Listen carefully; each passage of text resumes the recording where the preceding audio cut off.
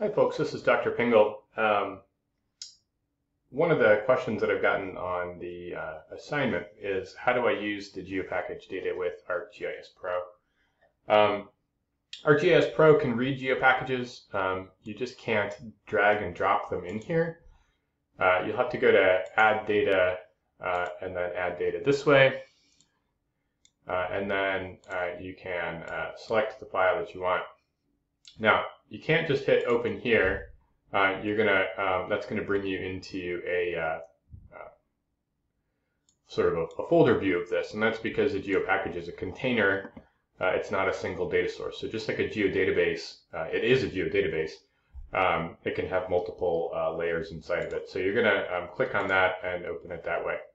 Now, when you are gonna when you open it, you can see that it did load. it's over here on the left, and it's just not showing up.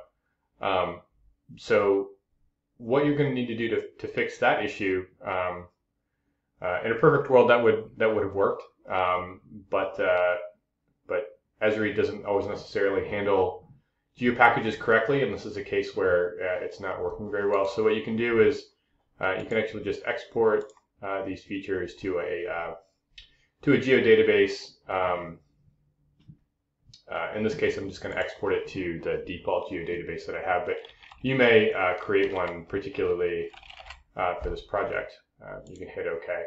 And then once that export is done, you can see that all of that data did load in correctly.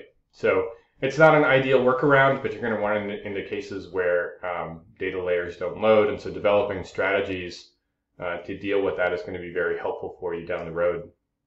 Um, okay, thanks for listening. Bye. Just to uh, just to uh, complete one final thought here. Um, uh, remember that ArcGIS is not the only GIS you have available to you. Uh, QGIS is an open source GIS program. Um, and even if you're not used to using it uh, and don't necessarily want to spend the time on it, um, I would uh, really encourage you to keep QGIS in your back pocket as, as a way to sort of deal with um, tricky file loading and conversion issues. Um, so as an example, this is the QGIS interface. Um, to load data, um, you know, I can, I can appreciate that things aren't exactly maybe where you're used to seeing it, um, but if you go to uh, layer and add layer, you can see that you can load all kinds of things. Um, interestingly, QGIS um, separates things out between vector layers and raster layers and even mesh layers. We're just going to load a, a, vector layer. Uh, and then I've got it queued up here, but if you open uh, this and hit add, um, you are going to see uh, that data load. Uh, you may need to do a, uh, it may prompt you for a coordinate uh, conversion. Uh, it may not. Um, but you can see that the, that the data layer did load cleanly um, directly from the geo package and, and there was no further work needed to do that. Um, so QGIS is exceptionally useful um, for file input output issues.